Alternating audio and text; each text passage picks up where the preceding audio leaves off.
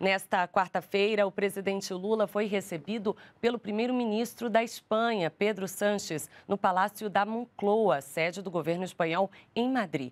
Os dois líderes posaram para a foto oficial e, em seguida, se reuniram para uma conversa.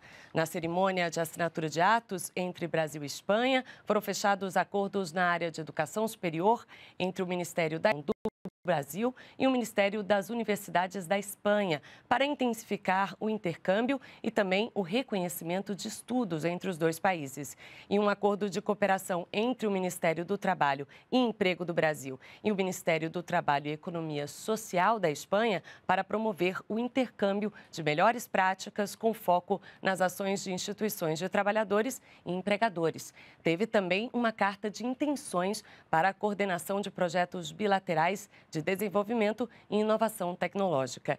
E em declaração à imprensa, os presidentes falaram sobre a importância do desenvolvimento de projetos estratégicos bilaterais. O Brasil se tornou, desde o ano passado, o nosso principal parceiro é, comercial. E é, a Espanha é o segundo investidor no Brasil e estamos cheios de esperança com relação à criação de emprego e de riqueza para os nossos países. Mais de mil empresas espanholas estão no Brasil. Aproximadamente 15 milhões de espanhóis ou descendentes de espanhóis estão no Brasil. O Brasil está de volta. A gente vai recuperar o que nós já tínhamos construído.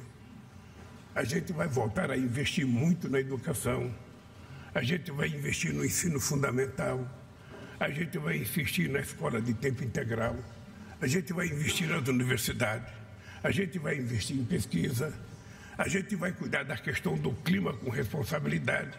Nós assumimos o compromisso de não, sabe, de até 2030 chegar desmatamento zero na Amazônia.